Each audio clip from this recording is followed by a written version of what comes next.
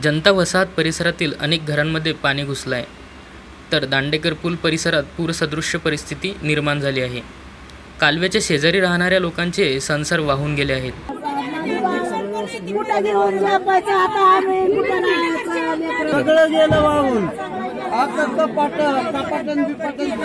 दांडेकर पूल सिंहगड परिसरातून मुठा नदीचा उजवा कालवा जातो.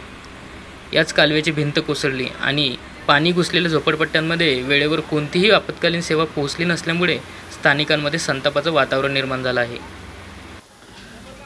शहराच्या मध्यभागातून जाणाऱ्या नवीन खडकवासला कालव्याला गुरुवारी सकाळी अकरा सव्वा अकराच्या सुमारास जनता वसाहतीजवळ भगदाड पडले. त्यामुळे लाखो लिटर पाणी सकाळी दांडेकर पुलावरून सिंहगड रस्त्यावर आले. हे पाणी एवढे प्रचंड होते की त्यामुळे रस्ता बंद करावा लागला. शिवाय सर्वे नंबर एकशे तीस झोपडपट्टीमध्ये पाणी शिरले. शाळेत जाणाऱ्या विद्यार्थिनींना या परिस्थितीचा सामना करावा लागला.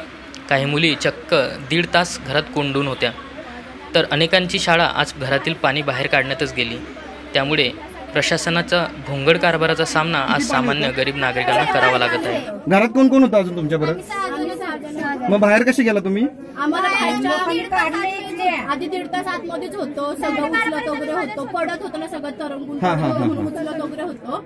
मग नंतर मग आम्हाला बाहेरून आवाज आला तेव्हा मग आम्हाला आतमध्ये म्हणजे बाहेर कालव्यालगत राहणाऱ्या लोकांना सुरक्षित स्थळी हलवण्याचे काम सुरू झाले आहे. मात्र या घटनेमुळे अनेकांचे संसार पाण्यात वाहून गेले. आता आम्ही काय करायचं असा सवाल स्थानिक महिला विचारत आहेत. दैनंदिन वापरातील वस्तू देखील पाण्यात वाहून गेल्या आहेत. या परिसरात अनेक मजूर छोटे मोठे उद्योग करणारे लोक राहतात. त्यांचे उद्योगाचे साहित्य देखील पाण्यात वाहून गेले आहे. शेकडो घरांमध्ये आणि दुकानांमध्ये पाणी शिरून मोठ्या प्रमाणावर नुकसान झाले आहे. वेळेत डागडुजी न केल्यानं ही भिंत कोसळल्याचा आरोप स्थानिक नागरिकांनी केला आहे. त्यामुळे पुणे महानगरपालिका प्रशासनाकडे लोकांच्या नजरा वळल्या आहेत. घटनास्थळी आलेल्या महापौरांना नागरिकांच्या संतापाचा सामना करावा लागला. प्रशासनाने लक्ष न दिल्याने हा प्रकार घडला असल्याची माहिती स्थानिक नागरिकांनी दिली आहे. अचानक पाण्याचा लोंढा आला मी पाहिलं पाहिलं मी लोकांना सावध केलं मदत केली लहान लहान मुलांना बाहेर काढलं. तोपर्यंत पाण्याचं प्रेशर वाढलं आणि सगळ्या वस्तीमध्ये पाणी झालं. सगळी वस्ती जलमय झालेली आहे.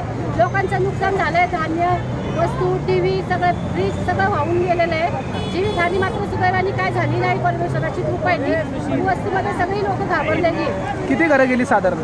आणि सगळे सगळी वस्तू. अख्खे दांडेकर पुलावर पाणी आलेलं पाणी. तुम काय गेलं